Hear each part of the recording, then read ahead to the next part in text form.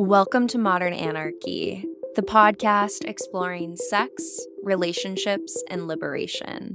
I'm your host, Nicole.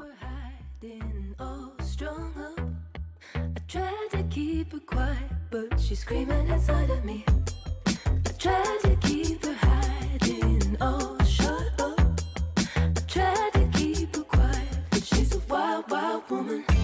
On today's episode, I will be walking you through my book, The Psychedelic Jealousy Guide Building Secure, Non Monogamous, and Expansive Relationships.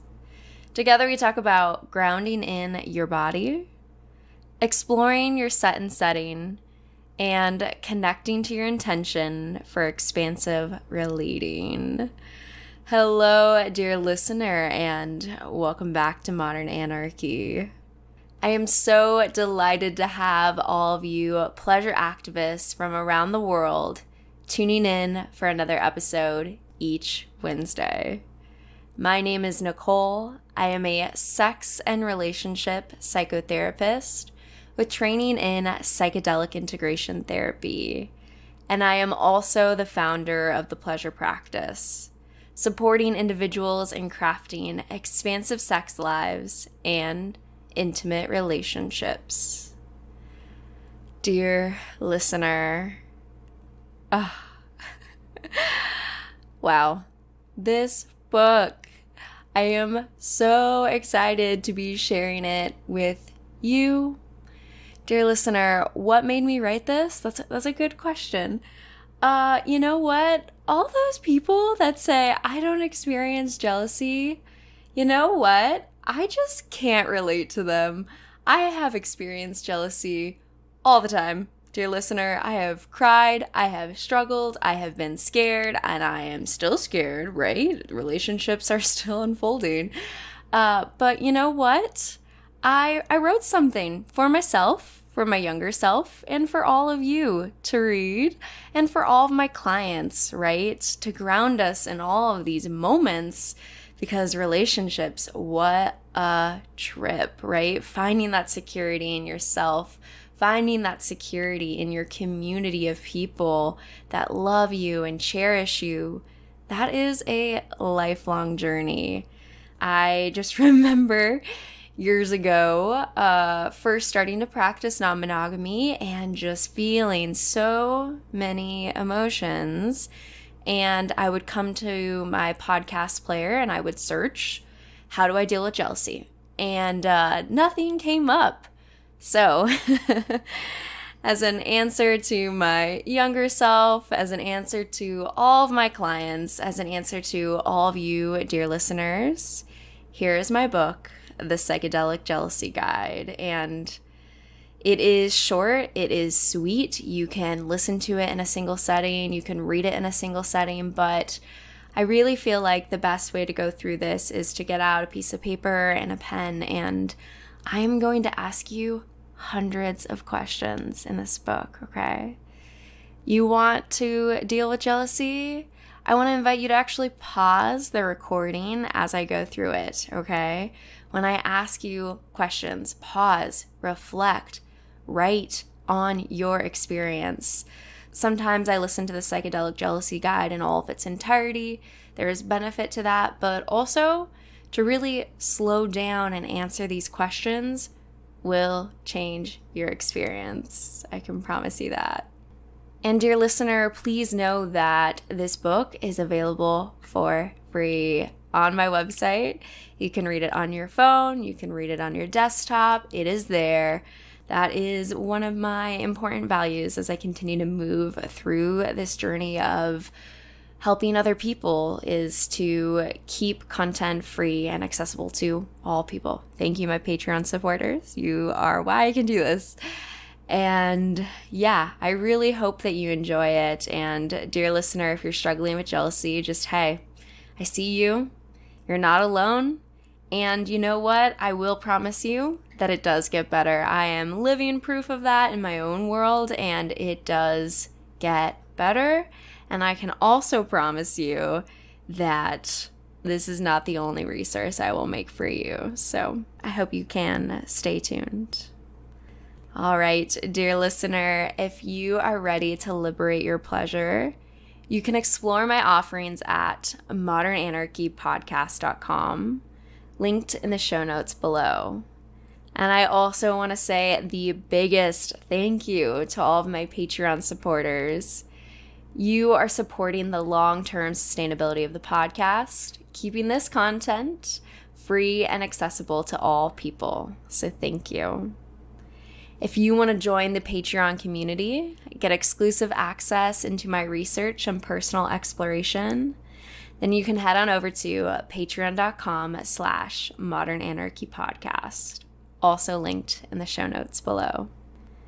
And with that, dear listener, please know that I am sending you all my love and let's tune in to today's episode.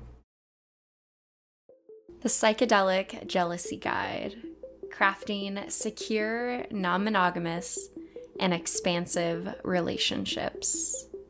Chapter 1 Explore somatic response. You're having a beautiful day living into your pleasure. And then you hear that your lover has explored some new romantic connection or erotic experience with another person. Suddenly, you notice a shift in your body. A knot in your stomach begins to form. Your heart starts to race. Your breath may feel heavier, and your body becomes tense your sympathetic nervous system has kicked into high gear, initiating your body's instinctive fight, flight, freeze, or fawn response to protect you from perceived danger. Despite joyfully committing to a non monogamous relationship style, you experience a significant wave of somatic or bodily feelings leaving you confused as to how your value systems and the experience of practicing them can be so drastically different. The stress response hormones, adrenaline, and cortisol are flowing through your body and impairing your thinking. You are left wondering will practicing expansive love always produce such dread? I have personally been here more than once, truly, dear listener, way more than once, and it does get better. Regardless of which relationship style you practice, all of us have experienced moments of jealousy in our relationships. But why, though? Our Western culture's colonizer narratives of sex and relationships have established monogamy as the only relational practice of security, true love, and purity. This has conditioned all of us to understand exclusivity as safety. We call this bias mononormative thinking. Transitioning out of this thinking requires a rather psychedelic paradigm shift. Hearing that your lover explored something new with another individual challenges this classically conditioned narrative and can set off feelings of fear and insecurity within milliseconds.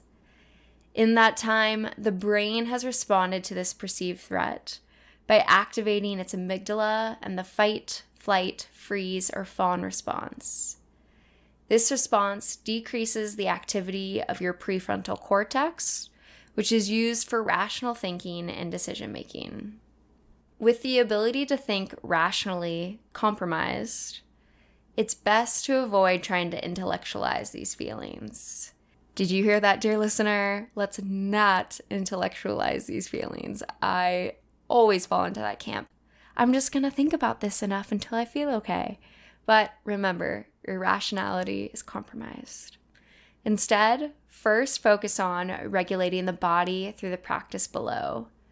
This practice will help your body to feel safe again and engage your mind's ability to think rationally through bottom up processing using somatic grounding techniques like breathing to influence the brain. As you practice, remember to have compassion for yourself. While the initial conditioned somatic response may feel automatic, you are in control of how you respond to this experience moving forward. This is the first step of finding grounding in any psychedelic paradigm shift. Try having an observer's mindset and curiously exploring your psychological and somatic experience without judgment. Jealousy, like any emotion, is a moment in time that will pass like all other moments. All right, dear listener, now I'm going to walk you through my acronym CALM. This is going to help support your body to relax, come back to your prefrontal cortex so you can think clearly and rationally, and help you to ground. So, the first letter in the CALM acronym is C, which stands for center. So, you're going to center yourself with deep breathing. I'm going to invite you to bring your attention to your breath. Notice the sensation of air entering and leaving the body. Just observe it as it naturally occurs. Now, take a deep inhale breath through the nose and allow your belly to fill up with air. Then slowly release the exhale out through the mouth. Repeat this breath noticing your body relax as you activate your parasympathetic nervous system. This is your rest and digest system of regulation. Feeling more safe and secure with each round of breath. The next letter in the CALM acronym is A. So you are going to assess your sensory experience.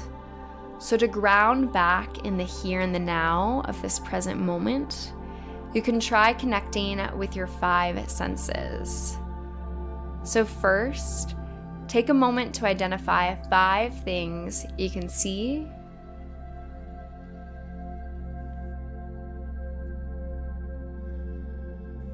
four things you can touch.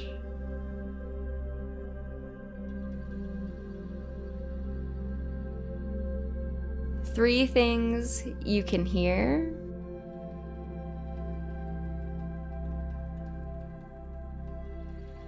Two things you can smell.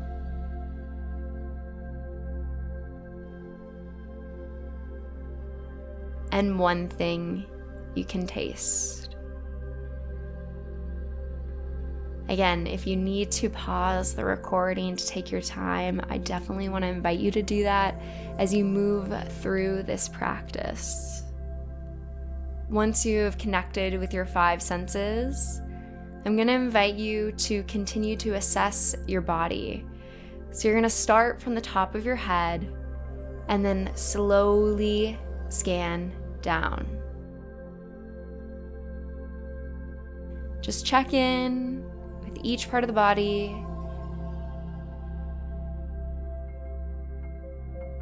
Take a moment to observe any sensations that are standing out for you without analyzing or judging them.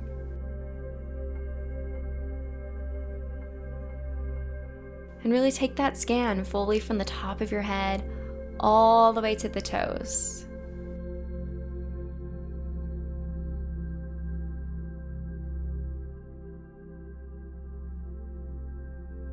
The next letter in the CALM acronym is L, which stands for let go of tension and ruminating thoughts.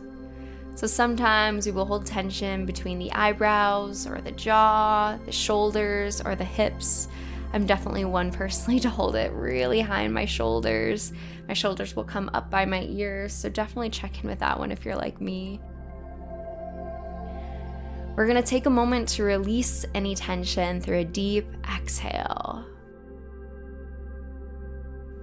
Finding more peace and relaxation. So let's take that breath.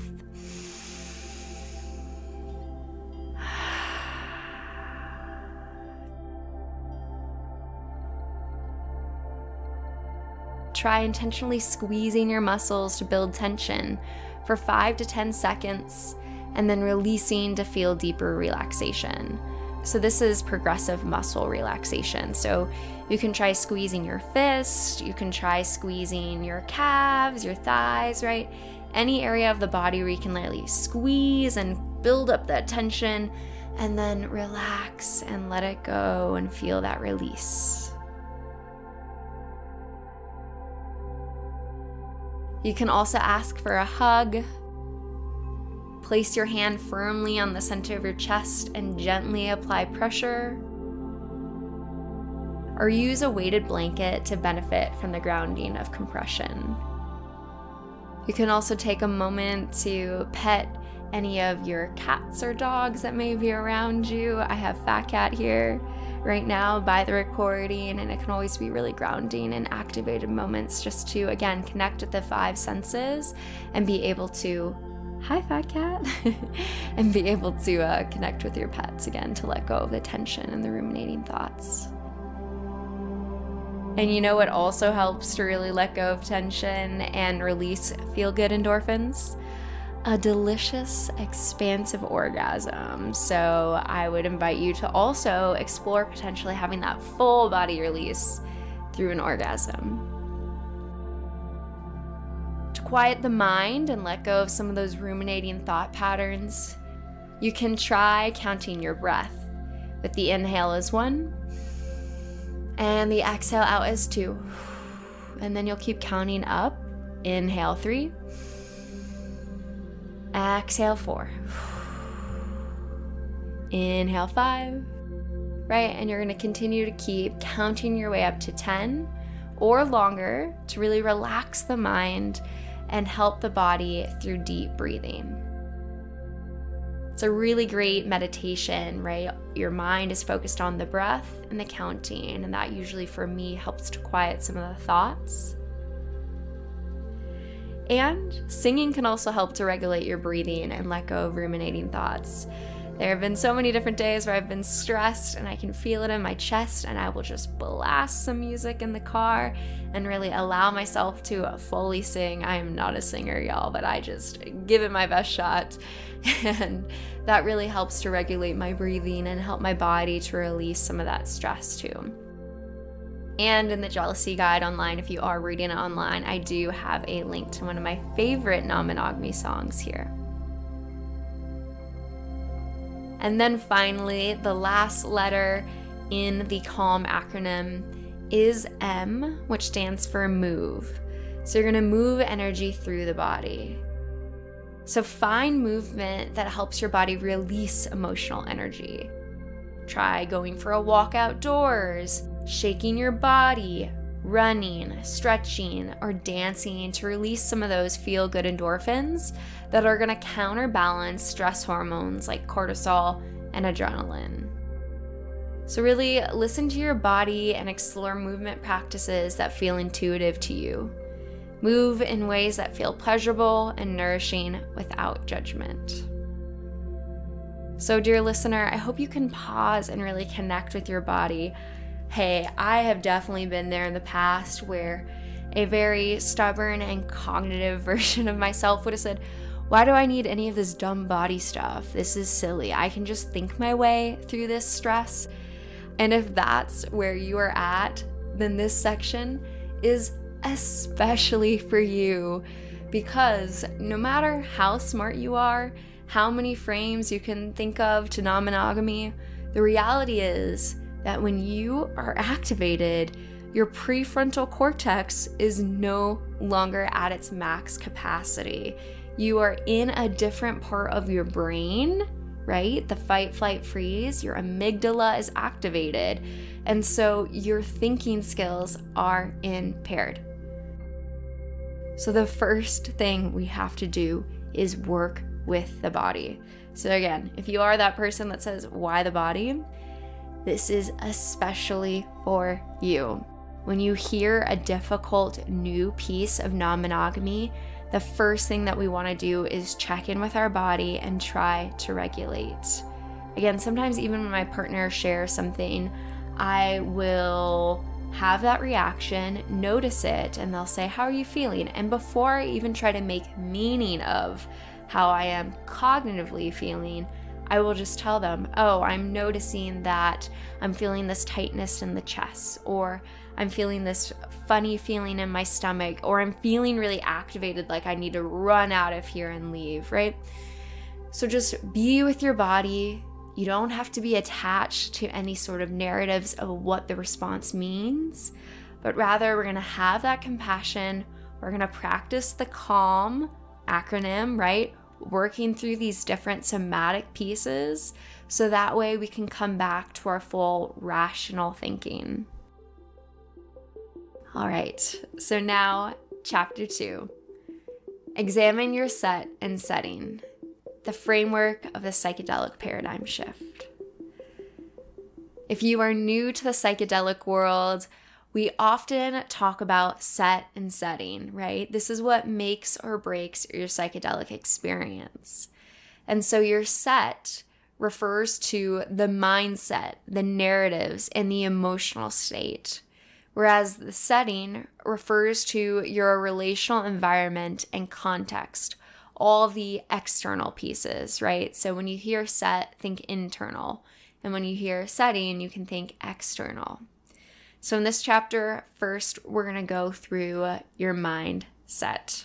And as I go through these different points of mindset, I want you again, dear listener, to pause, reflect, journal, we can read through this whole psychedelic jealousy guide quickly, but there's so much more depth to this practice if you pull out some paper, if you spend some time to really sit with these questions. So, again, I want to invite you to pause this audiobook wherever you need to, okay? So, the first one is narratives of connection. So take a moment and reflect on the narratives of sex and relationships that have impacted you. What messages did you receive about secure relationships? Was there a specific relationship practice that was emphasized as the right way? So, for example, in my own life, I grew up in a conservative Christian culture in America. And this culture taught me that healthy relationships are only between a man and a woman, and were specifically monogamous, maintaining your virginity until you are married to one sexual partner for life. True love is therefore only monogamous and exclusive.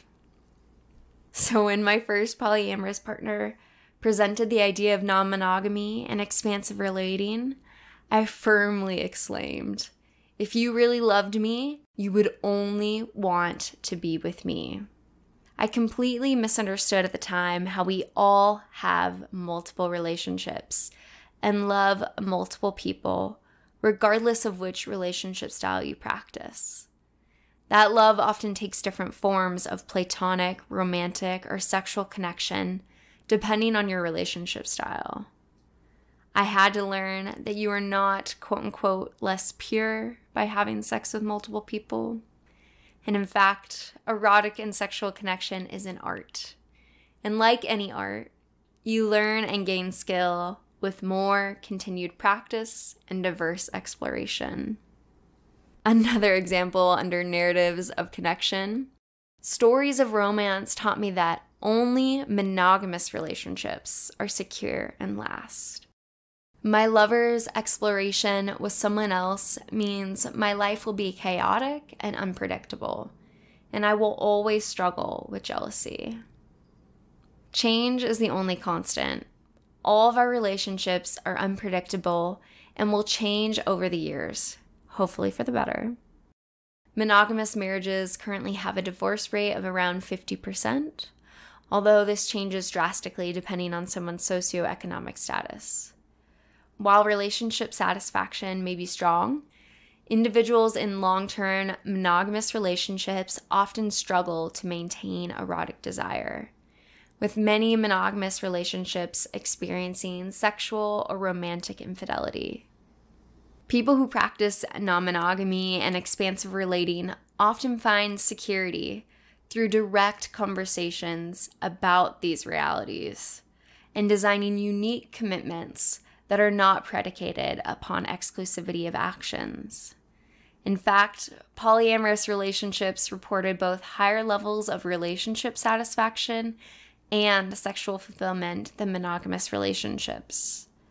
Long term security in expansive relationships is possible through continued conversation and commitment of time and energy.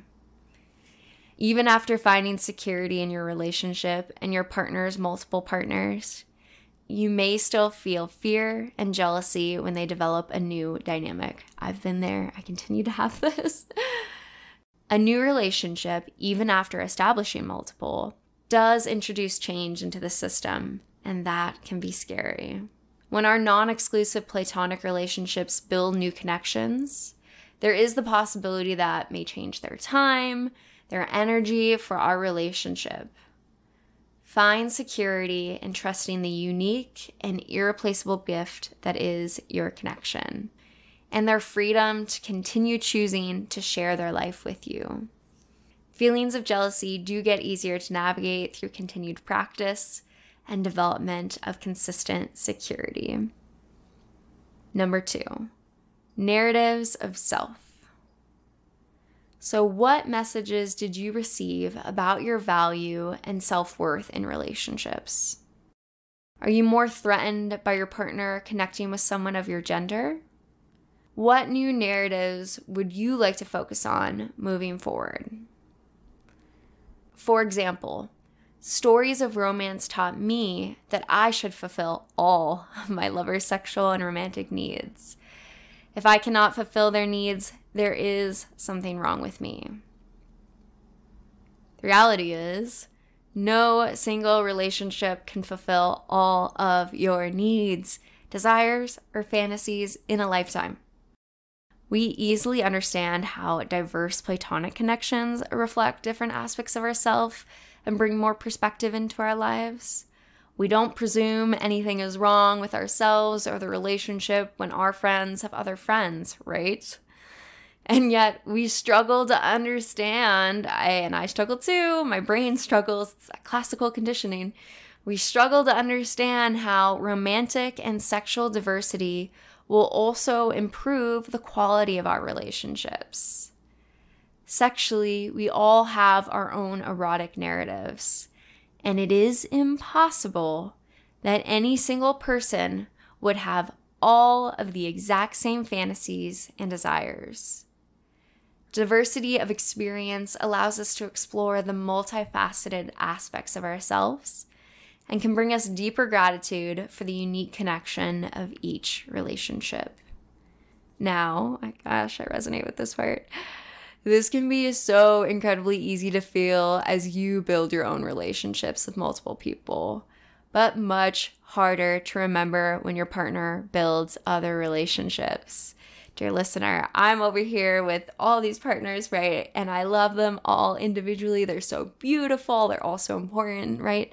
But the second your partner has someone else, whoa, why is it so different? We, of course, have a secure relationship with ourselves, but it can be difficult to feel secure in our relationship with others. So, do your best to remember how you can still uniquely love all of your partners and apply that same frame to your partner's experience. Another example of narratives of self are Stories of romance taught me that the only way I can feel important, sacred, or special is through exclusivity of action. I no longer feel special because my partner is exploring sexual and romantic connections with others. How is it that we find importance and a sense of specialness in our non exclusive platonic relationships? We find security and sacredness through our friends' continued commitment of time and energy, remembering that no other relationship can provide the unique connection that you bring. So there is no competition. You are important, sacred, and special through your own individuality and the relationship you have built.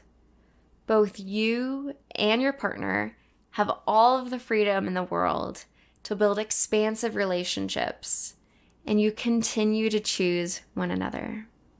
Can you feel how powerful that is?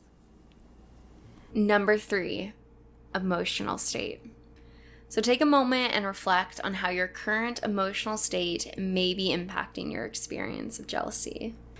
Are you already currently hungry, tired, or stressed out? Are you exploring altered states of consciousness through drugs?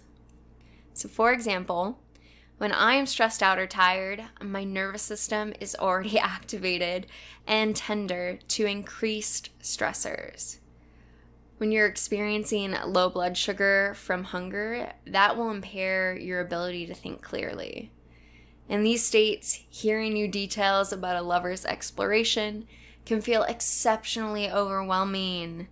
It can often start a spiral of thoughts, been here, I can't do this. I'm not good at non monogamy.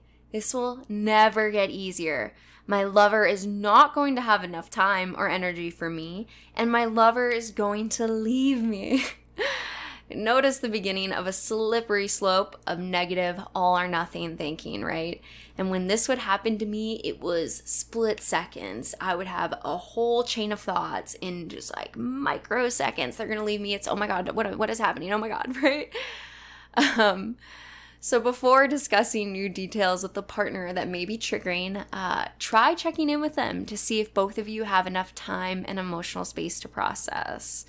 Don't just drop those new details on them, especially if you're new to the dynamic.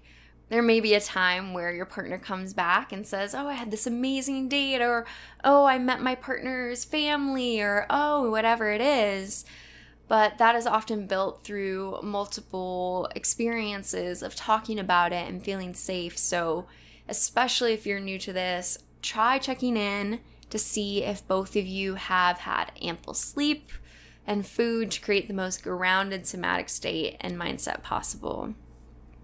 Hearing that my partner had explored a new connection 30 minutes before a podcast recording over the phone when I was by myself at home was not an ideal time to drop that information. Uh, I lived, learned, and had to reschedule that recording. Oh, dear listener, when I think back on that, I like truly fell to the floor and I was just like, oh my God, I was not ready to hear this. And I started crying and I had to cancel that podcast recording.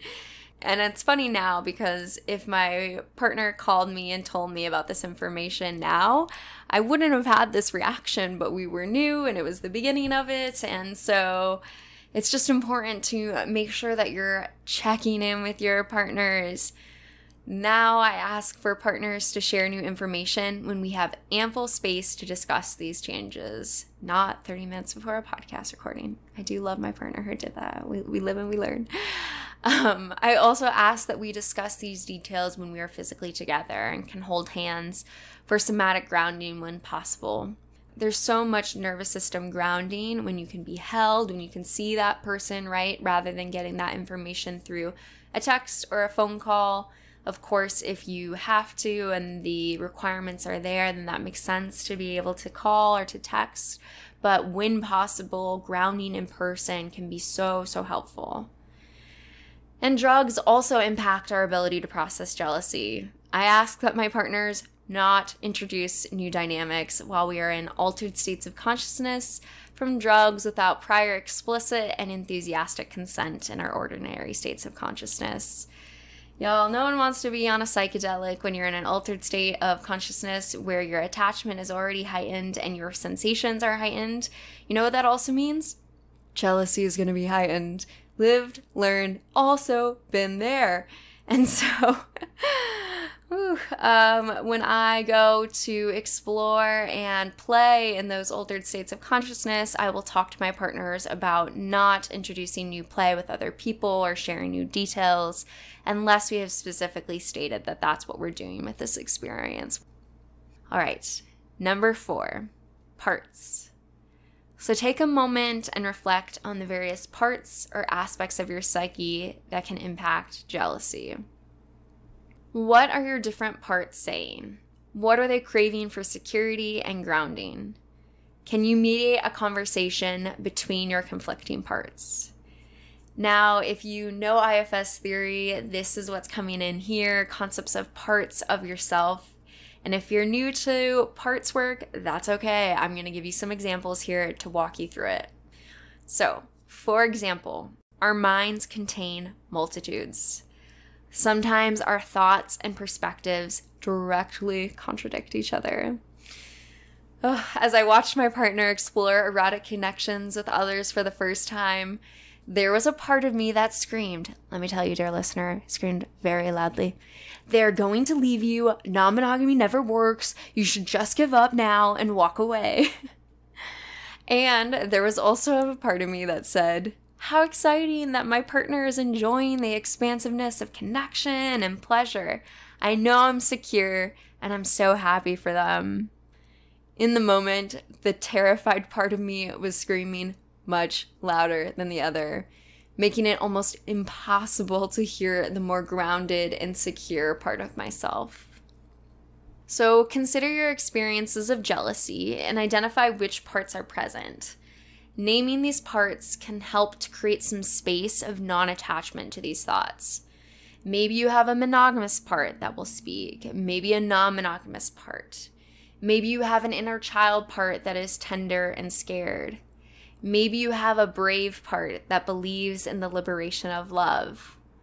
While you may feel a values based desire to align with certain parts, I want to invite you to have compassion and curiosity as you honor the fears and needs of your seemingly less than ideal parts. Ultimately, they're speaking to something that is important to you. As you listen, consider what do these different parts need?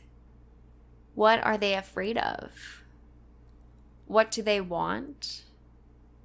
How old is this part? Why was it created? What would these parts say to each other? And as you're in this reflection process, please remember that you are not your thoughts or the various parts that are speaking. You are able to curiously listen to all these parts and then decide how you would like to proceed. That is such a big piece of this jealousy guide. Again, of course, we start with the somatic and the work with the body so that we can regulate and ground. And then once you're here, it is non attachment to those thoughts that are coming up. Remember, we have been impacted by years of deep classical conditioning. And so, my monogamous part that was tender and afraid would say, This can never happen. This is just going to blow up. They're going to run away. Oh my gosh, right? And then that small, quieter voice the liberation, the part of me that believed in my feminist calling to explore this was so much quieter. And so I had to take a step back and honor what the monogamous part of me wanted, which was security, right? Reliability in my relationships. And all of that makes sense, right? And then to also take that step back and reground in my values, which we'll get to later. All right, number five relationship to self. So take a moment and reflect on how your relationship with yourself can impact jealousy. This is a big one. So, how do I talk to myself in my mind? Are my inner thoughts generally kind and empowering or critical and harsh? Can I identify both my strengths and growing edges without judgment? For example, during my first group play experience, oh yes, I watched my partner lovingly caress the hands of another woman. Dear listener, and can we just underline that for a moment? My partner lovingly caressed the hands of another woman. He was holding hands with her as he was also holding hands with me, and she was holding hands with me. We crossed all of our hands together, which is actually really cute. But when he was interlacing his fingers with her, he was rubbing his thumb on her hand. And dear listener, my first time having that, I lost my shit. I absolutely lost it. In that moment, a complex flood of negative thoughts came over me. This is where my brain was going. She is way prettier than I am. My partner is absolutely going to leave me for her because she is way more interesting and amazing than I am. She is the shiny new relationship, and I am just the old leftovers that are no longer exciting. truly had this from just him touching her hand. Finding security in moments of jealousy can be exceptionally difficult if you have a negative relationship to yourself and your self worth. The psychedelic community often describes psychedelic drugs as non specific amplifiers. Expansive relationship styles can similarly amplify your feelings of relational dynamics, including your relationship to yourself. Again, rather than attaching or identifying with these first reactions, take a moment to ground in your body, a couple of deep breaths, and remember that you are the author of your story. We get to practice curiously noticing and observing these thoughts. Remember that we are not defined by these initial reactions, but rather by the way we respond to them moving forward. In that moment, I had to remind myself I am beautiful, I am worthy, my partner is not going to abandon me. And notice if these grounding affirmations come from a space of competition. We want to check in if our affirmations are I'm prettier than her, I'm smarter than her, right? How can we flip it to I am beautiful, I am worthy? Rather than finding strength in being better than someone, instead focus on how you are both beautiful beings. You are incredibly unique, and no one else can be you. There is no competition to win. So it's important that we're able to provide ourselves these affirmations, and we can ask for affirmations from our lovers in moments of doubt. It is all about finding that balance between internal self affirmation and external affirmation from others. In the balance of both, we find our interdependence rather than codependence or hyperindependence. How can you continue to practice loving yourself? What new narratives about yourself do you want to write as you continue to grow?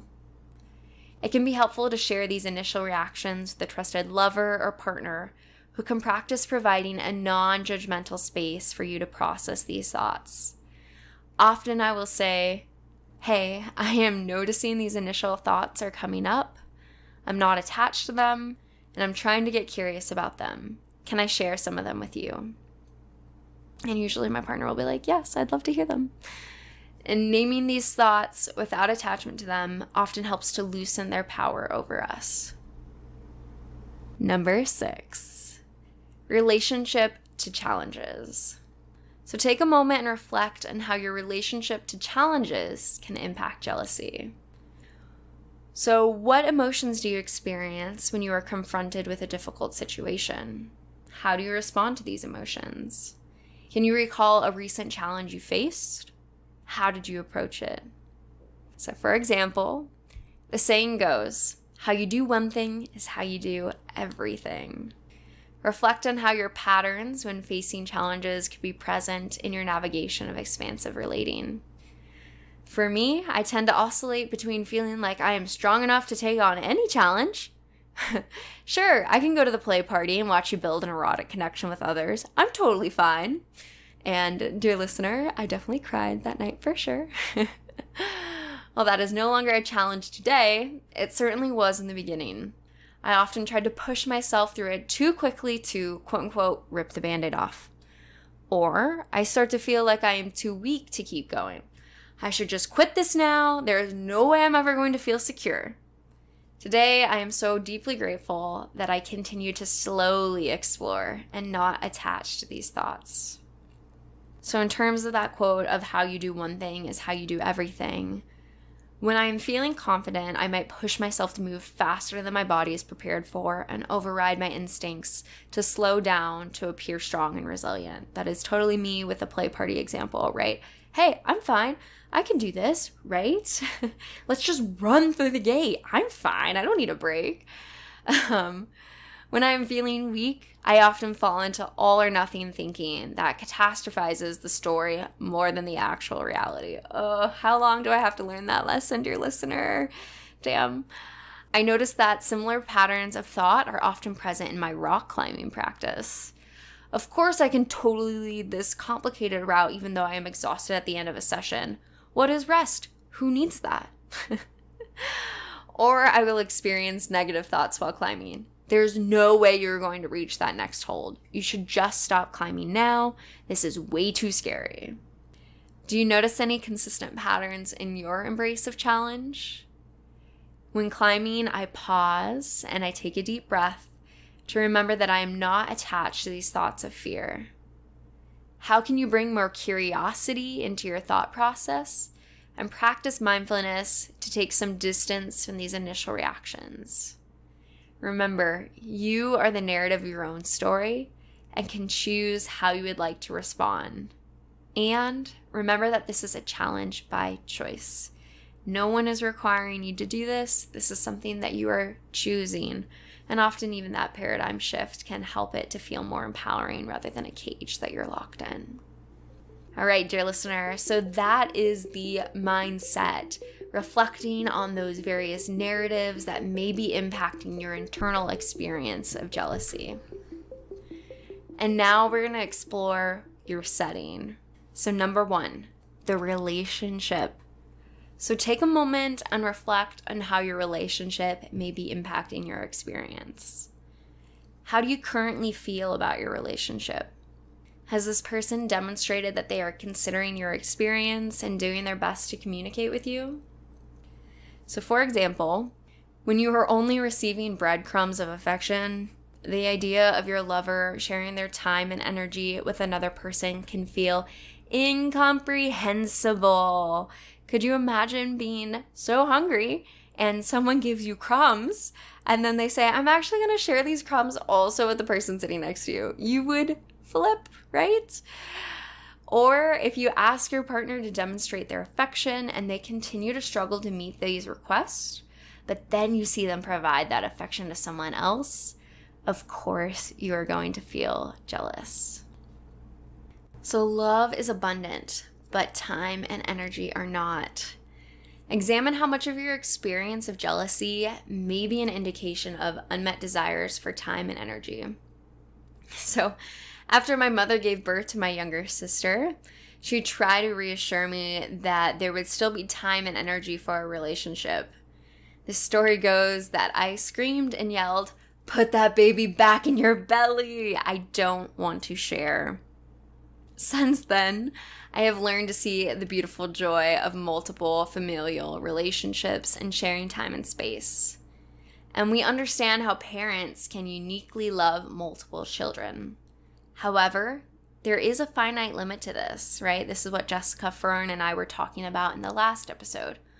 Four, six, eight, ten children later, our capacity to love is infinite, but our ability to share that love through time and energy is limited due to our finiteness as humans. So, what do you desire in terms of time and energy from your partners?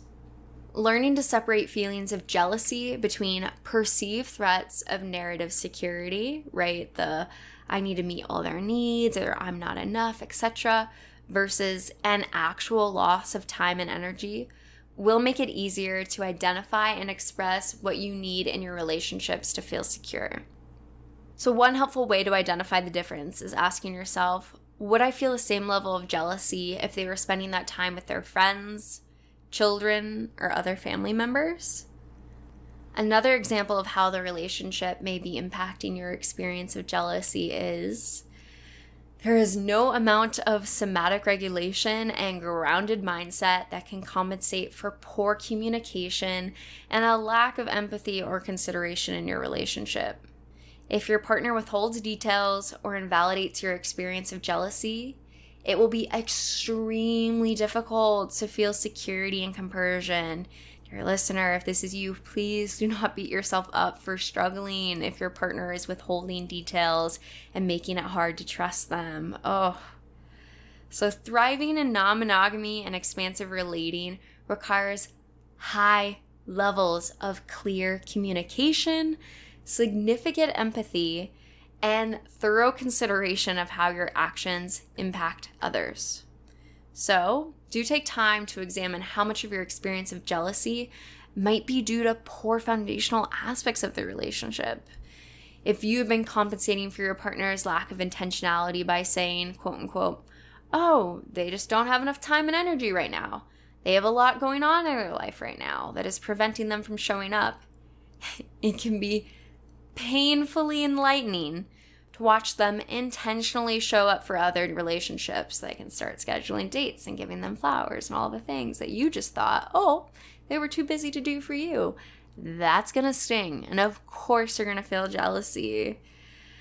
Is your partner wrapped up in the intense waves of new relationship energy and neglecting your desires for connection? Is it possible to ask your partner to improve in these areas? Can you trust your partner to communicate and consider you in their actions? If so, take a deep breath and try to feel that security of trust in your body. If not, Consider examining if there are poor foundational aspects of the relationship or past relational pains that are making it hard to trust your partner. All right, number two, past relationships. So take a moment and reflect on how your past relationships may be impacting your experience. Have you noticed any reoccurring patterns in your relationships that may stem from past dynamics? how do these patterns influence your current relationship dynamic? So, for example, in my first polyamorous relationship, we had agreed to the commitment of informing each other if we had sex with someone else. Dear listener, what a simple agreement, right? Hey, just like let me know if you end up having sex with someone else. And this was my first time doing it, my first poly relationship. I found out months later that my partner had been having sex with someone and that they had failed to inform me. They also failed to inform the other person about our relationship. Breaking our relationship commitment was an act of cheating in non monogamy, which ended our relationship shortly after. That was truly my first experience of polyamory. I'm much happier in the dynamics I have now, dear listener, let me tell you after having a difficult psychedelic drug experience, naturally you'll be afraid to try again, right? That makes sense. You get kicked off the horse. Why would you want to ride again, right? Our body and minds are always trying to keep us safe. My experience in my first polyamorous dynamic created a level of paranoia and fear about a lack of communication in future non monogamous experiences. This fear was healed through a series of extremely secure, non monogamous relationships that practiced high levels of clear communication. If we have had painful experiences in the past, we will try to anticipate and prevent getting hurt in the future. Those are those ruminating thoughts that are going to come up. Of course, this is happening. They're going to, right? Like fill in the blank based on your past.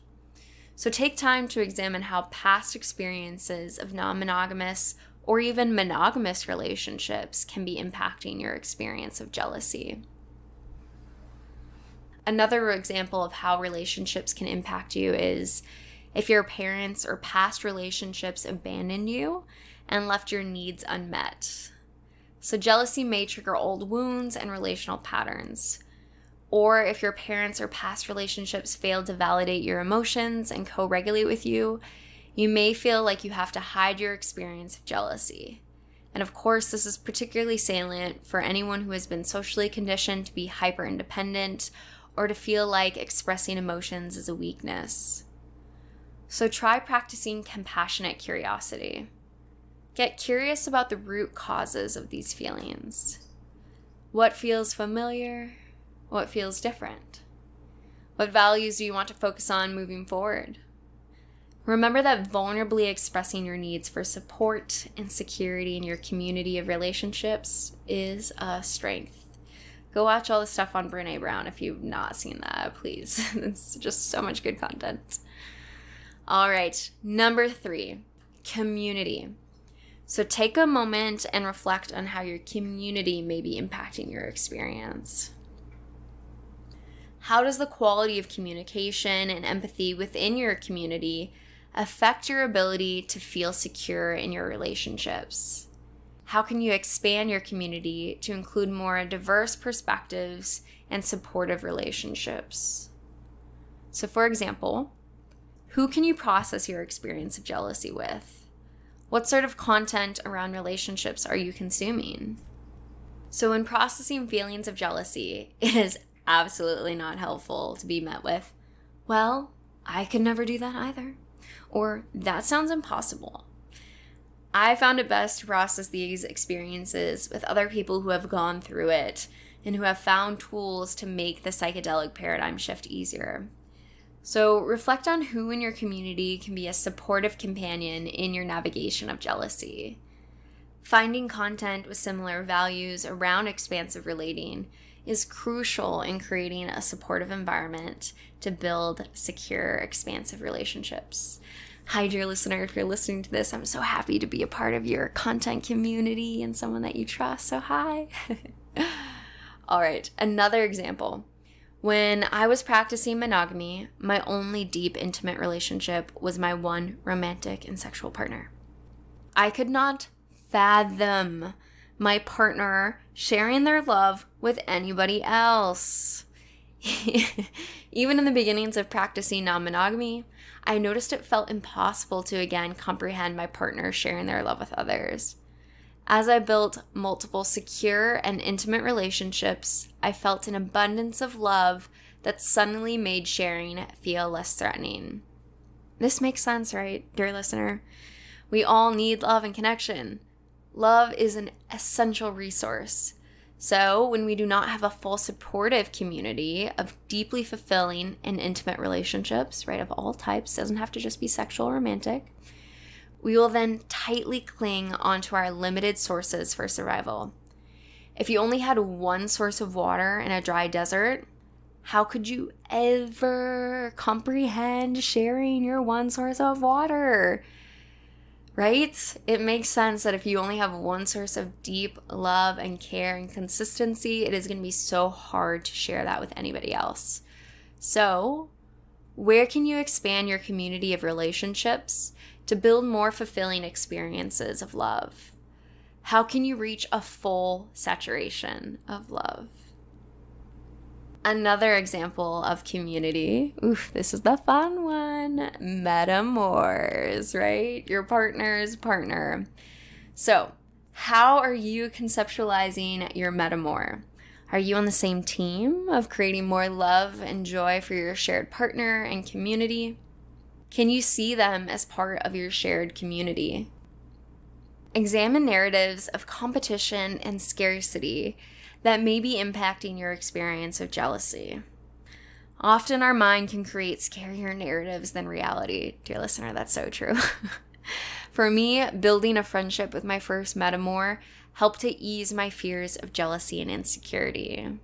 Together, we navigated the nerves of a new type of relationship and moved with the intention of deep care for each other.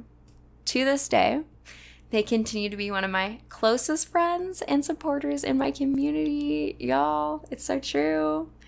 This person is no longer dating the shared partner, but we're still in such deep community, and I will always refer to them as my first metamor. And eventually, I'm gonna have a metamor focused podcast episode for you with them down the line. So stay tuned for that one.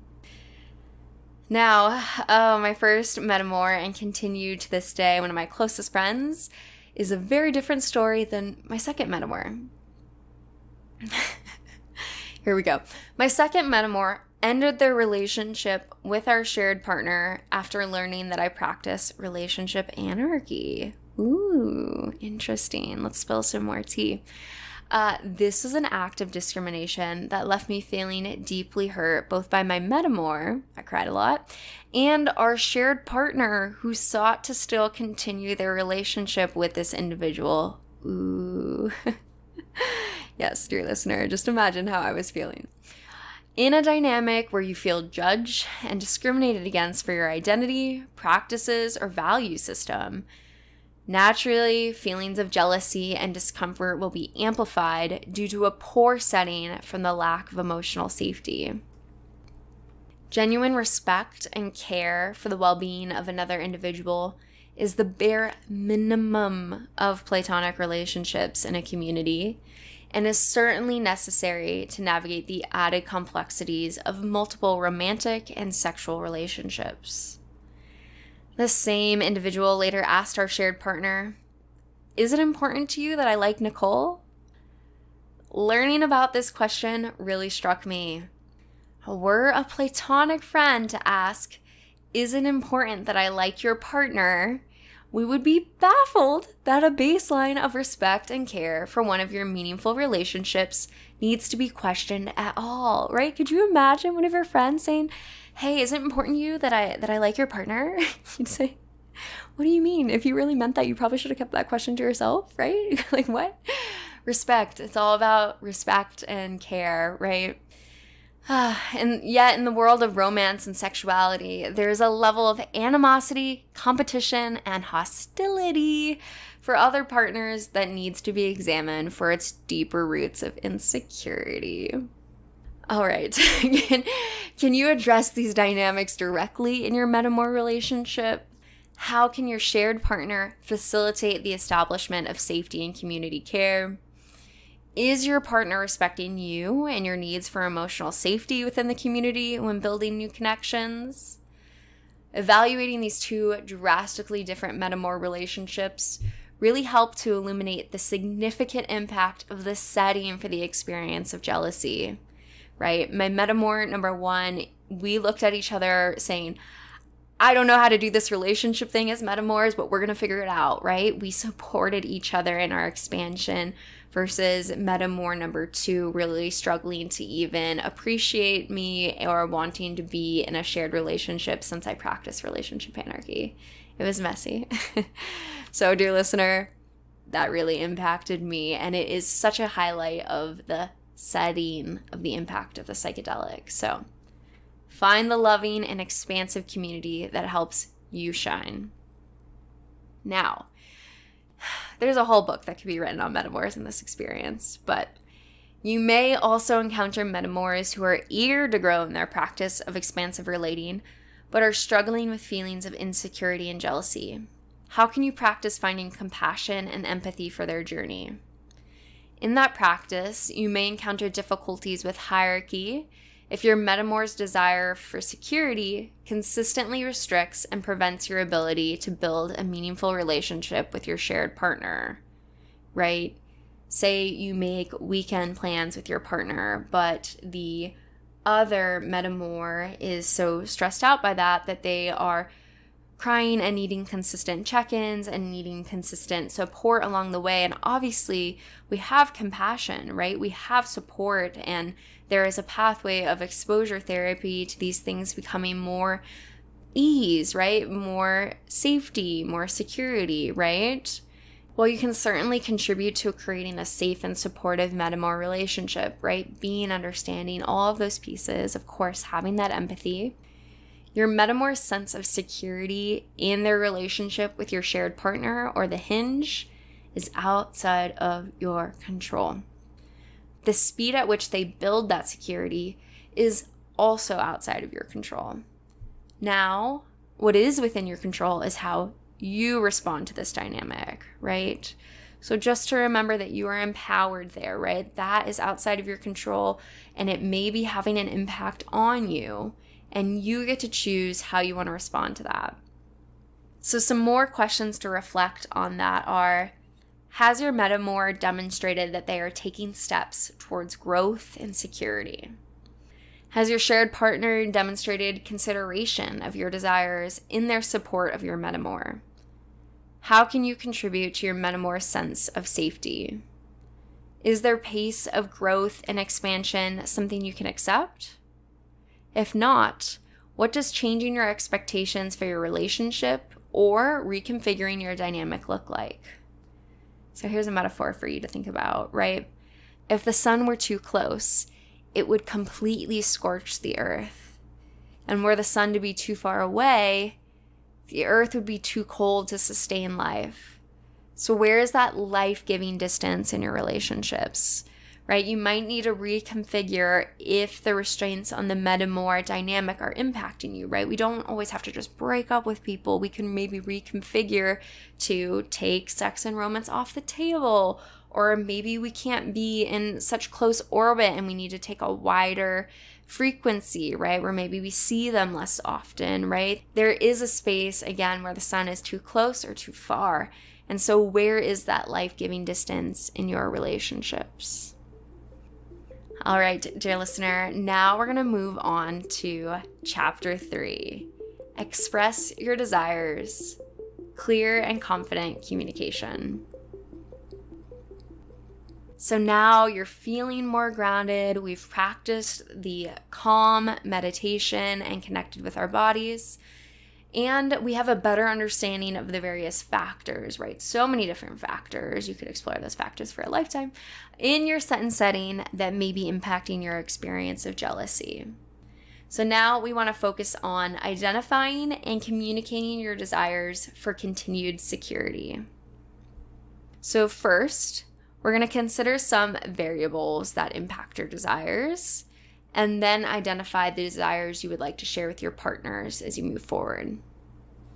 So, I was just talking about orbits, right? The frequency and finding that space in your reconfiguration. So, consideration number one is orbits. Imagine your relationships as an expansive solar system. These relationships can orbit you to varying degrees of frequency. You may encounter comet partners that come through your orbit with long intervals of time in between, shooting stars that introduce a momentary blaze of intimacy, or planets and moons that consistently orbit you. So I will use the language closest orbiting partners to describe the relationships where we have a committed once a week date night. Other relationships may orbit at a bi weekly, monthly, or less frequently scheduled intervals. All of these relationships are important and have a gravitational force, right? So, force equals mass, which we can think about that as the importance in your narrative, right? The significance times acceleration, which is the frequency of orbit. How often are you seeing this person, right? So force equals mass, importance times acceleration, frequency. And the force is attachment and potential feelings of jealousy, right? So the relationships that orbit more frequently, often, but not always, have a greater force of attachment and therefore potential feelings of jealousy, right? This was such an eye opener for me in my experience of jealousy is finding how the partners that orbit me at a much faster rate than the people I see once a month the experience of jealousy is just worlds different, okay? Because the attachment is different they are both important people, right? They can have similar importance, similar mass, but the acceleration, that frequency of orbit really impacts the force of jealousy. So, as such, you may crave different things to ground in moments of jealousy across your varying relationships. It may be easier or harder to hear about your partner's exploration with others based on the frequency of their orbit. For example, there may be more jealousy with a closer orbiting partner than a comet partner due to the stronger gravitational force of attachment. Additionally, you may feel more jealousy when one of your closest orbiting partners connects with their closely orbiting partner rather than a one time shooting star, right, at a play party, or a comet partner, maybe someone who lives out of town and flies in every now and then and says hello at holidays, or other sorts of experiences. So take time to reflect on which desires feel consistent across all types of relationships and which desires are unique to individual connections. And of course, remember that while you have your own expansive solar system, how beautiful, right? You also play a unique role in the solar systems of others. Each of your partners has a whole universe of meaning making and relationships just as much as you do. Number two, depth of experience. As I continue to practice expansive relating, my desires during waves of jealousy continue to change and evolve. It's important to remember that there is no elimination of jealousy, but rather the relationship to this experience will shift over time. Things that once brought me to tears now bring sincere compersion, right? That joy for my partner connecting with other partners. Other experiences continue to surprise me with their impact, but I now have more tools, community, and insight to work through these moments. Your first psychedelic drug experience can bring significant waves of intense feelings as you navigate a new paradigm. With each trip and a good set and setting, you will continue to learn to adapt and enjoy the ride. This practice does not mean that you can perfectly plan for all future psychedelic journeys or that you will never struggle again, right? People have bad trips on psychedelics, even when you've been a psychonaut for multiple trips. It's all about the set and setting, right? Rather, your experience to this experience will shift. Try thinking of expansive relating in a similar way. It is true that you will be more prepared for the trip of jealousy as you gain experience riding the waves of somatic feelings and thought patterns. Despite this experience, it is also true that you may still encounter difficult journeys that will surprise you depending on the set and setting. So have compassion for yourself along the way. While there may always be more growth on the horizon, be sure to also celebrate how far you have come in your journey. Often, my clients will continue to beat themselves up for struggling with feelings of jealousy, forgetting to see how much they have already accomplished. So, take a moment and reflect. What are some of the things that once made you anxious that no longer have the same impact? Importantly, while it is true that you have learned significant insights from this practice, this does not mean that you are more enlightened than others. Some folks may never try psychedelics. Some may try them and happily choose to never take them again. Others may really enjoy them. Some may choose to explore high doses, and some may only enjoy them at lower doses. Celebrate your own journey of exploration and honor that others will equally be navigating their own journey. Remember, there is no one way to be and experience pleasure in relationships. Now, the third and final thing that might impact your needs and desires is shared versus separate experiences. So, reflect on how your desires may change depending on if you are sharing expansive experiences in person together or preparing and hearing about them afterwards. Your desires may also shift depending on if the experiences are with a shared community, right? So, shared partners, friends, co-workers, etc., or in a separate community space. So, it can be helpful to create a flexible game plan to discuss with your lovers for the variety of experiences that may bring up feelings of jealousy. Of course, it is impossible to fully prepare for all the possible experiences, but preparing a loose idea of what support may look like can foster greater feelings of security. So, before we go on to identifying your needs and desires for security, I want to take a moment to actually separate out those two words needs, desires, right? So, we all have a need for security, and we're going to have different desires for meeting that need of security. We also have a need for love, a need for connection, but no single person is responsible for meeting all of our needs, right? Regardless of which relationship style, we all need love and connection. We all need community. And so, no one person will be that person that can meet all of those needs. So, we have desires to have those needs met by the people around us, right? That nuanced difference between the two there. So, for example, my partners and I have established safer sex practices and consented to the shared risks in our exploration. We practice sexual self governance, meaning that we do not need to ask each other for permission before engaging in romantic or sexual activity that is within our consented safer sex agreements.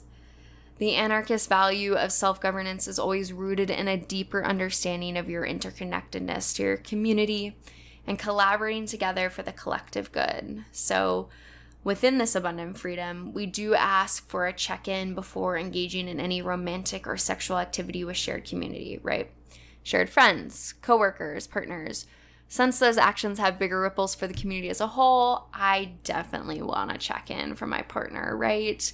That's going to really impact the system if I find them in a corner having a, a, beautiful connection moment with one of my friends, right? Now that's impacting one of my dynamics. And so it is definitely something that I would want to have a check in before, right? Otherwise, there is the freedom and the space to explore abundantly.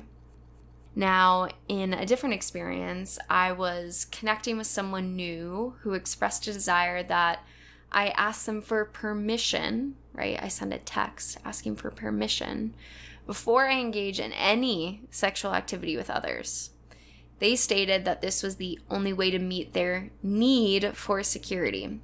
Well, of course, I respect their need for security, right? I deeply respect that they need to feel safe their desire to have that need met through permission text is incongruent with my current practice of expansive relating, right? Of course, I would certainly be willing to meet their need for sexual safety by informing them after I explore new erotic connections so they can fully consent to any risk that my exploration introduces into our dynamic, right? So I respect their need for sexual safety, I respect their need for emotional safety, but their desire to have that need met through permission text, me having to text them before I connect, would not be consistent with my practice of expansive relating. So, we all have different desires for meeting our need of emotional security, and we're gonna have different risk ratios, right, for safer sex practices. So, how can you communicate with your partners to respect both your needs and then any differences in your respective desires for meeting these needs? It is also important to remember we all have needs for love and connection, but no single person is responsible for meeting all of those needs. Instead, we have desires to meet these needs through multiple relationships whether that's platonic, sexual, or romantic. Remember, we all have multiple relationships, regardless of which relationship style you practice. Most of us just aren't having sex in all those dynamics, right? But we all have multiple relationships. I also want to say here that this distinction between our needs and desires is not an excuse, however, for abuse, harm, or neglect by ignoring our basic needs of respect, consent, and care, to be clear, right? What I want to differentiate between is the way that we desire to have those needs met. We all need respectful, loving connection, but there's an infinite variety of ways for that love to be shared. What are your desires for a loving connection? Because we're all going to have different desires, right? Can you get clear about these desires and communicating them with your lovers? How can these desires be met across your community? While there is a relationship escalator, right? That idea that meaningful relationships must progress from dating to living together and then dying together, there is also an intimacy escalator. Once we start kissing, we must progress to sex. Engaging in sex means we must talk every day and be deeply interconnected, etc., etc. So, engaging in these trajectories is not the problem. Rather, we want to examine the presumption that this is the only way to build meaningful relationships and to remember the abundance of ways we can form intimate relationships. Within those problematic assumptions, we often have unstated expectations for relationships that engage in certain acts of sexual or romantic connection. So rather than running with unstated expectations and being hurt when our lovers do not meet them, remember our partners are not mind readers.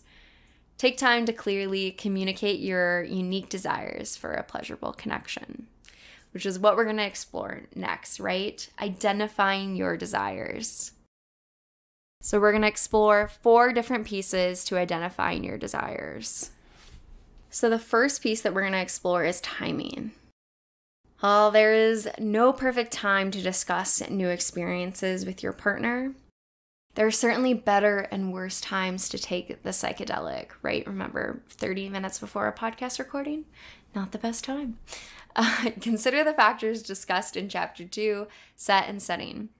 Do both you and your partners have enough time and space to explore new shared experiences or hear about separate adventures?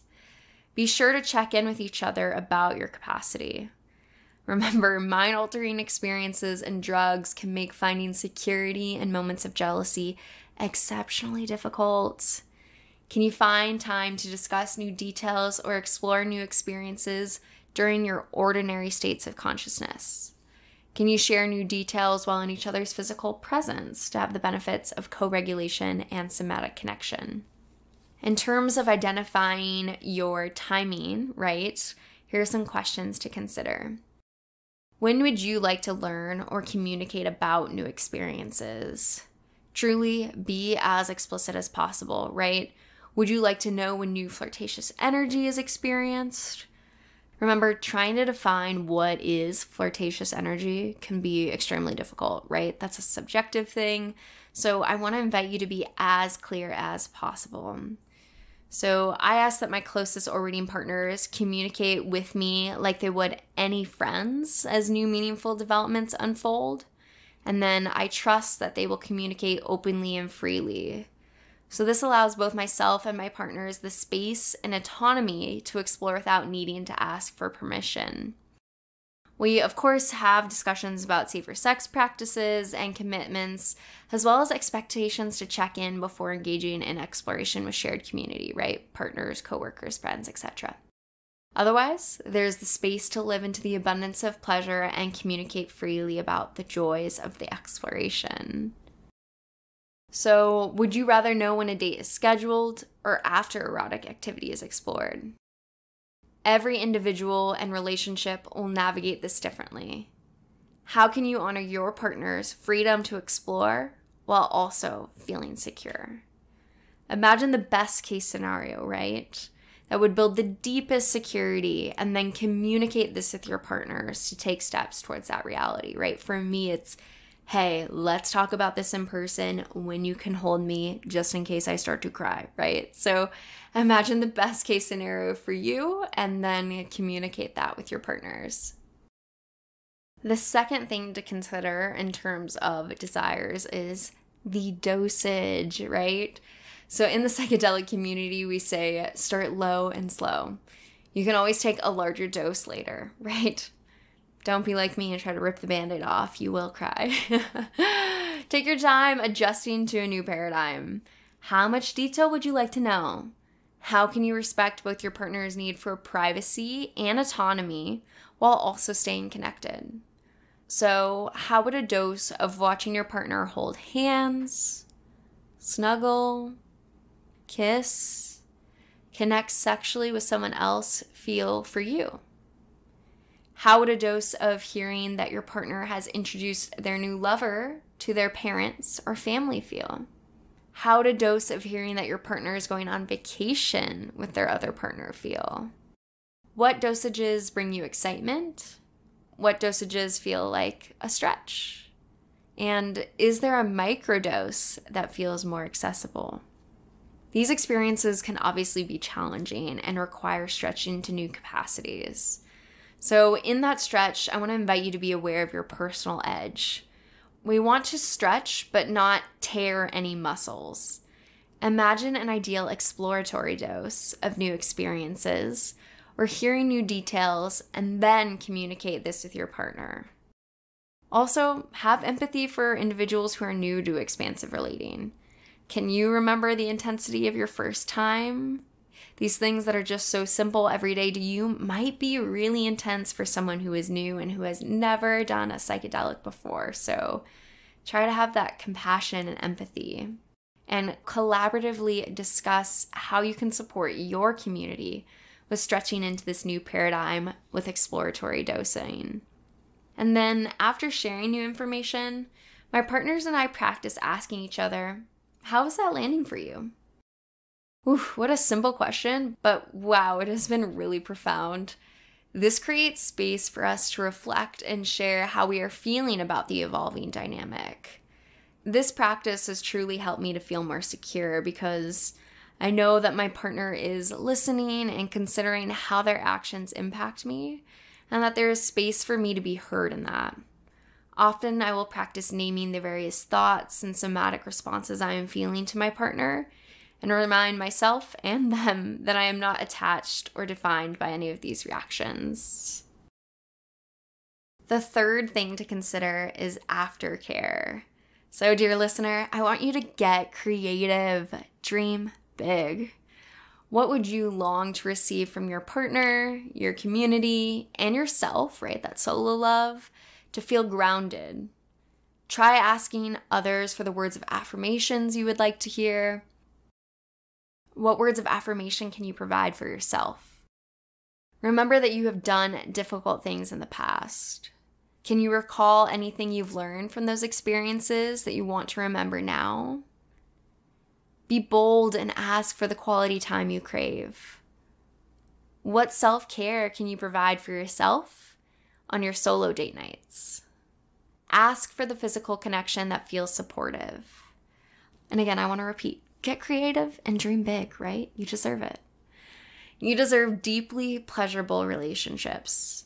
And our partners and community are not mind readers. We have to ask for the things we desire to build that world of pleasure. So imagine a world of your wildest dreams, of loving connection being met in abundance.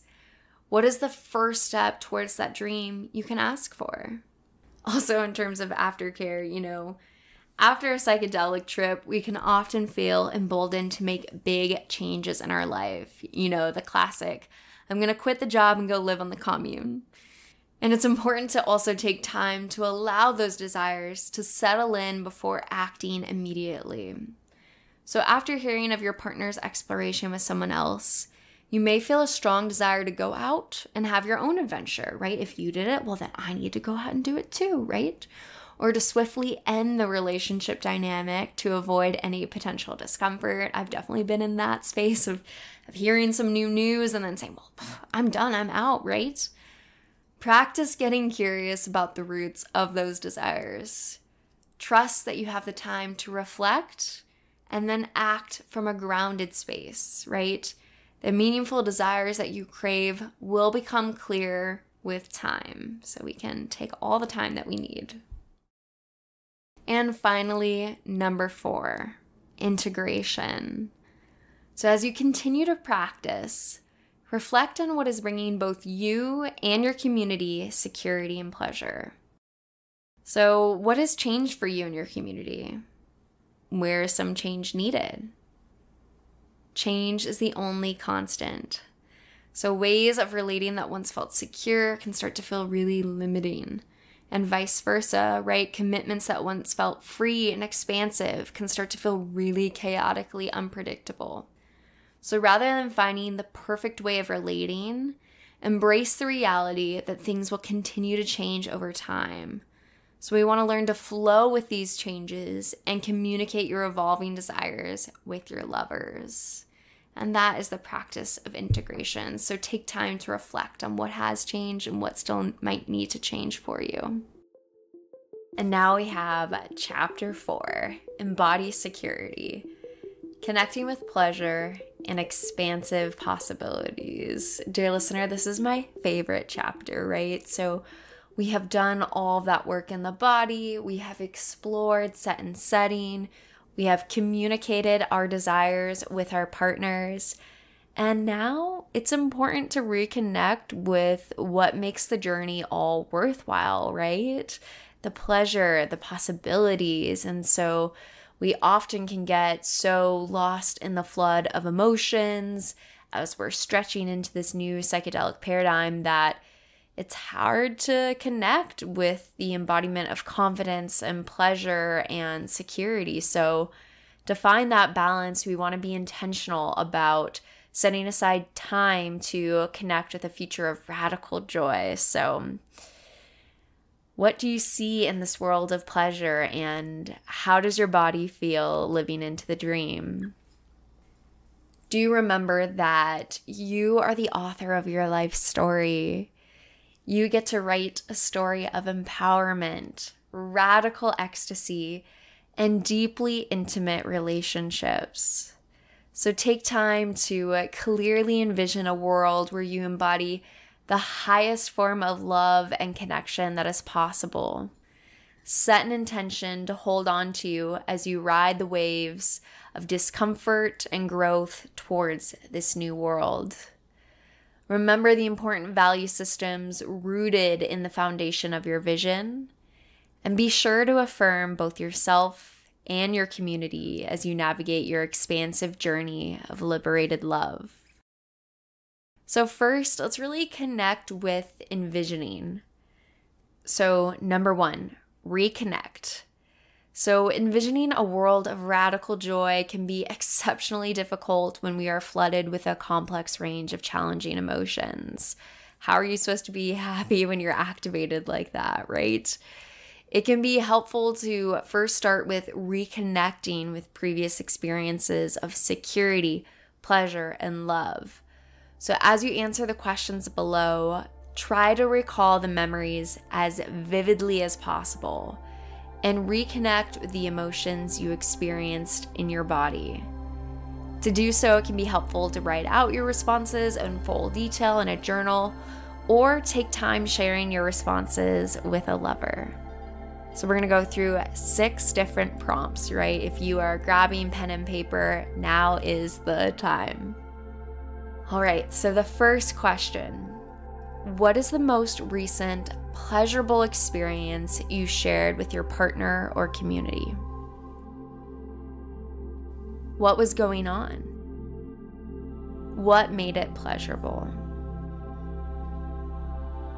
Two, can you pull up recent photos, videos? Erotic play videos are a fan favorite. Messages or past relationship reflection, right? Which is the practice I do with all of my partners and is on my website, right? This monthly reflection practice with prompts to feel connected to your partner. Three, recall a time where your partner demonstrated that they cared for you. What did they do to demonstrate this? How did it feel to receive this love? Four, recall a time where your partner demonstrated that they are trustworthy and reliable. What did they do to demonstrate this? How did it feel to know you can trust them? Five, recall a time where your partner demonstrated that they considered your needs in their actions while they were away from you.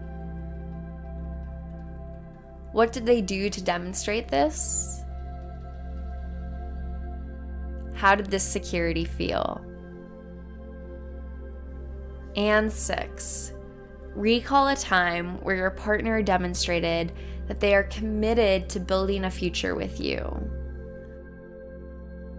What did they do to demonstrate this? How does it feel to recall that continued commitment in the here and the now? So, after reflecting on these questions, I want to invite you to pause and draw your focus to your body. What sensations do you notice? Where are you noticing these feelings in the body?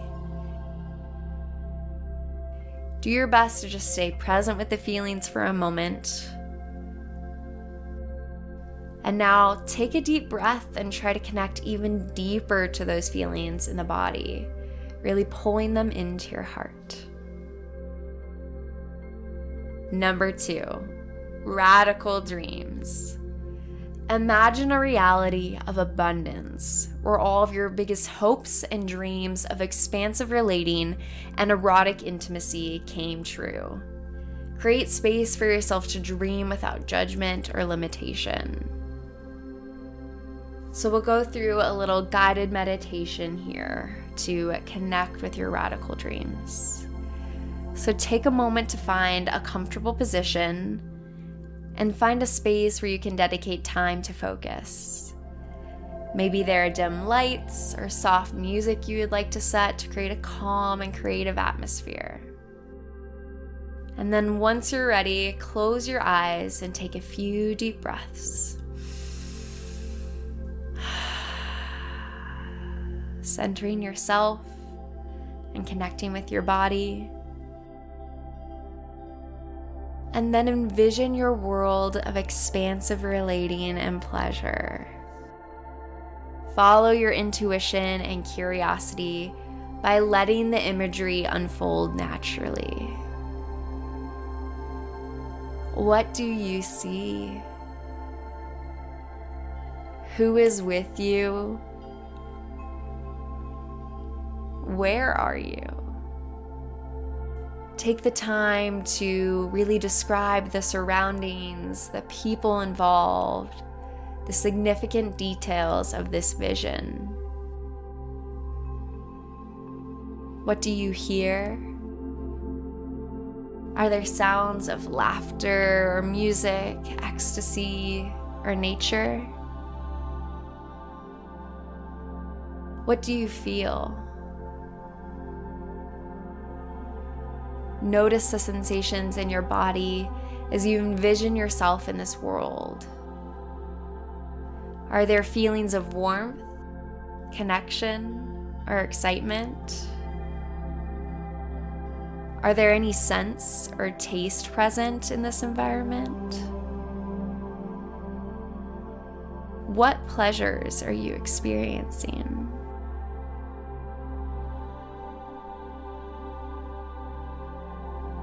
Visualize a moment of deep connection and intimacy with your partners. What does this connection look like and feel like? How does it contribute to your pleasure? And visualize a moment of deep connection and intimacy with your metamour. What does this connection look like and feel like? How does this security contribute to your pleasure? And finally, imagine yourself surrounded by loved ones who support and celebrate your expansive relating and liberated love.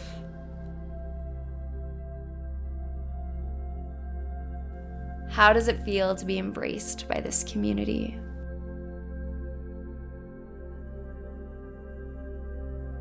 As you close this envisioning practice, take a moment to again connect with and deepen the sensations in the body. Take a couple of rounds of full, deep breaths. Let's inhale and exhale. Knowing in your heart that this world is more than possible. Trust that this world can become your reality.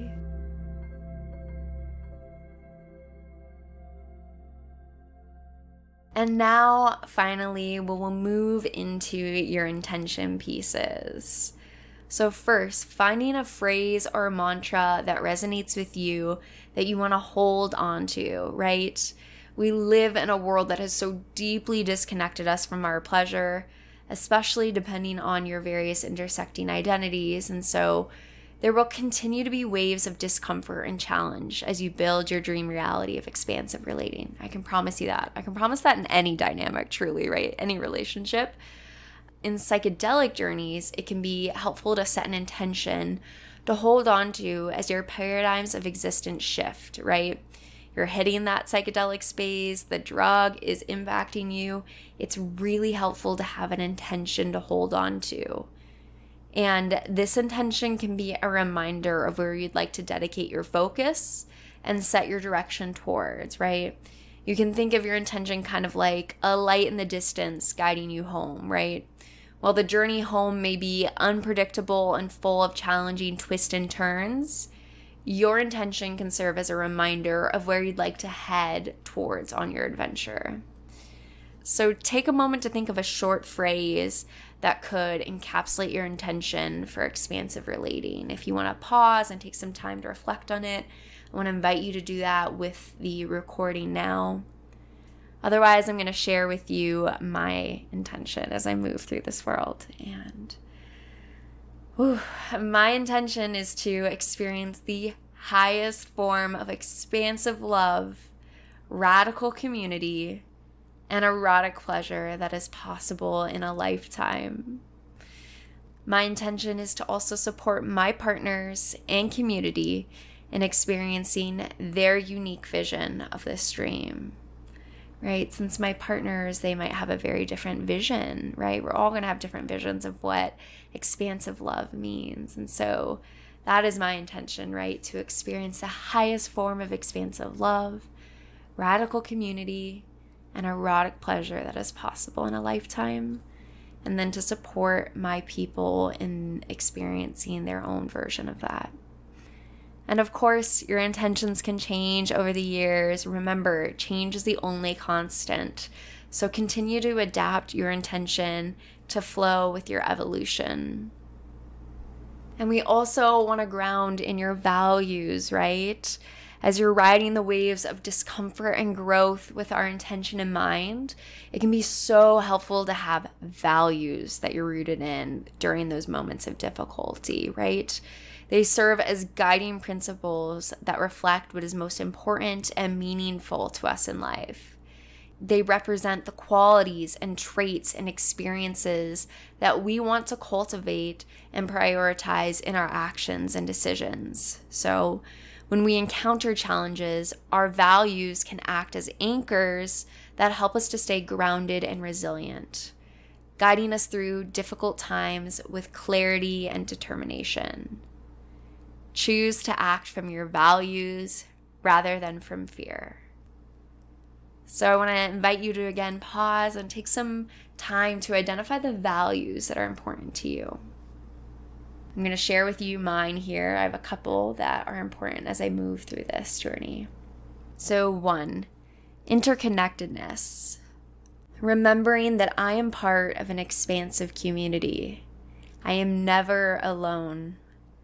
May I move with a grace and intentionality, knowing that my actions will impact the individuals around me. I am held in a deep community of love who will support, challenge, and grow with me. May I trust that I am loved even in moments of doubt.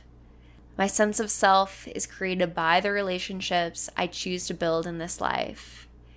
May I also show up for, serve, and give back to my community. Two, self governance remembering the joy I feel when I am trusted to act in loving consideration of my partners and community, and then granting that same expansive trust to others. Even when I am afraid, may I choose to trust my partners and know that they will consider me in their actions. In our individual freedom, we can come together to collaborate for the greater good of our collective community. Three, pleasure remembering that embodying pleasure is a radical act of revolution. May I remember that dismantling the internalization of judgment towards pleasure is going to be uncomfortable. May I remember to not identify myself or attach to these emotions. I can trust that it does get easier to embody pleasure liberation with each little step. There is no final destination. Embodying deeper pleasure is a lifelong journey of expansive adventure. Practice and trust that all is coming. Four, change. Remembering that change is the only constant.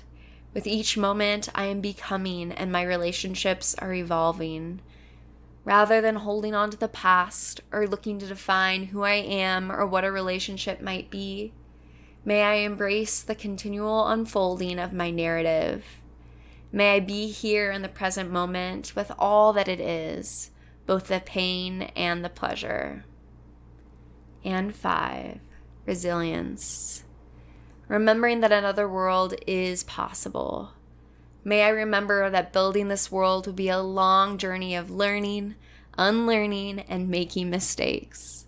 I am not defined by my mistakes but rather by how I respond to them moving forward. May I remember that another world is possible, deep within my heart, as I face judgments from others who do not understand, and as I unpack the internalization of systems of oppression that are so deep within my own psyche. My resilience is found in my expansive community and knowing that I am not alone. And finally, dear listener, I want to close out with affirmations, okay?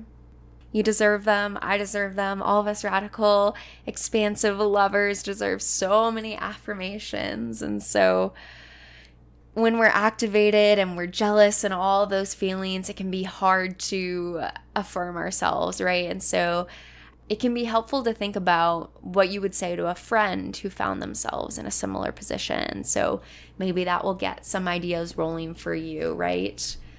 I'll share with you now some of the affirmations that I want to continue to provide for myself and my community as I move through these waves of change. I am worthy of love and I am loved deeply. I am secure in my relationships and trust my partners. I am resilient and can embrace both challenges and change. I trust myself to know I am unique. There is no competition, there is no comparison. I am right here, right now, and I can have everything I dream of with liberated love. I've had to repeat those phrases again and again until I actually felt them in my heart. I've been so terrified and afraid, and I would just repeat these phrases again and again like a mantra. And so I hope you can take some time to find the phrases that resonate with you, dear listener. May you live into your most radical dreams of erotic connection and intimate relationships. May you know the depth of love that is possible in a lifetime. I am surely living into the reality of my wildest dreams and wishing the same for you, dear listener. And with that, dear listener, please know that I'm sending you all my love and I will see you all next week. If you enjoyed today's episode, then leave us a five star review wherever you listen to your podcast and head on over to modernanarchypodcast.com to get resources and learn more about all the things we talked about on today's episode. I want to thank you for tuning in, and I will see you all next week.